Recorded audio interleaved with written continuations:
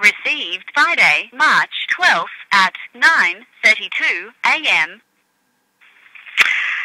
Andrew, hi. Look, I know you're trying to have some sort of a life, as your message just said, but in the meantime, uh, your little Vex News is um, someone is pretending to impersonate me, uh, has uh, put in inaccurate information, which would be a gentle way of saying it, I need to uh, either ring my solicitors or have someone delete it immediately. So perhaps you'd like to call me back on Brisbane 3403 Thanks, Andrew.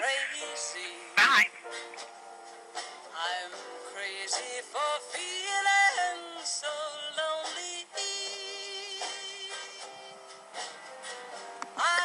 Hutch, when I grow up, I want to be a lawyer just like you. Good for you, son. If there's one thing America needs, it's more lawyers. Can you imagine a world without lawyers? Oh.